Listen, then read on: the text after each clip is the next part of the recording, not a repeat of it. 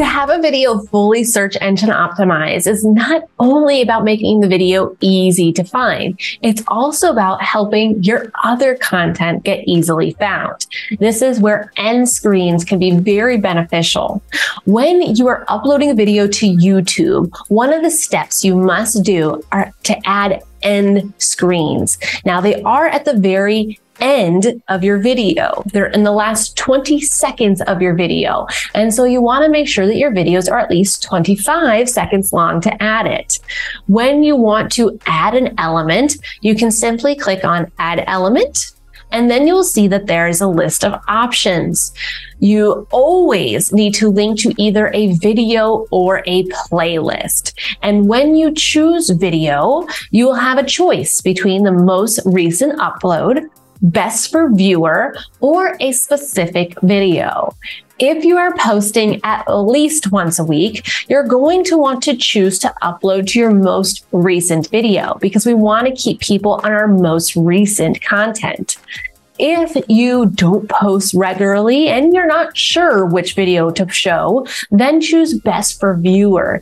YouTube will recommend a video from your content library to show the viewer based on their search history. Now, if this video is within a series, it would make sense to then recommend the next video in a series. In that case, you would choose a specific video.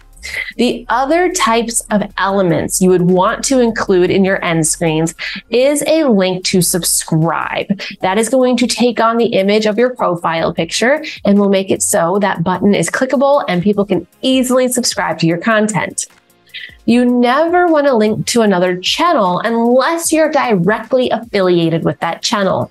Perhaps you have a, another YouTube channel about another part of your business. If it's something that you will benefit from sharing that content and getting people to that particular page, that is the only time you'd want to link to another channel.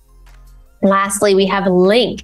Once you are part of the YouTube partner program, you can then add a link that links right to your website. It's extremely beneficial if you are a business to be able to do this. And so make sure that you do all of YouTube's steps that you are regularly posting. So then hopefully you can reach that level and start adding those links. You can see here at the bottom, this is the 20 second time where those content pieces can be. They need need to be on for at least five seconds. And so if I wanted to make this longer, I can get those double arrows and extend to make it longer. But I only want it to be on for five seconds. So I'm just going to close it up a little bit. I can also move it to be closer to the timeline of the start of the 20 seconds versus towards the end. Um, what you need to do is make sure though that there's space for these icons. And so when you are creating your exit graphics, have this in mind to leave some space for the end screens. And you need to make sure there's enough space where they won't be overlapping. As you can see, when one goes over the other, it's red. There's a big alarm. Ah, you can't do it. And so make sure that you always leave space where you can have all your content here. Uh, this is a fairly old video. You can see our old branding on here, but it's still a good one. Uh, and it has a 100% SEO score. And so I know a lot of people love this of Fun video. Anywho, when you are doing your end screens, the key elements to keep in mind again is that you can adjust the lengths, but you need them on at least for five seconds. And that you can adjust the placement by just clicking and dragging that element. A lot of people will ask if they can make this box smaller. Unfortunately, you cannot. You can only make it just a wee bit bigger, but not smaller. So just a quick recap of the key elements for your end screens. You absolutely need to link to a video or playlist. That's a requirement. Then you want to link to your subscription button. And if you are able, you want to link back to your website. If you have any questions about this step, please don't hesitate to leave them in the comments below.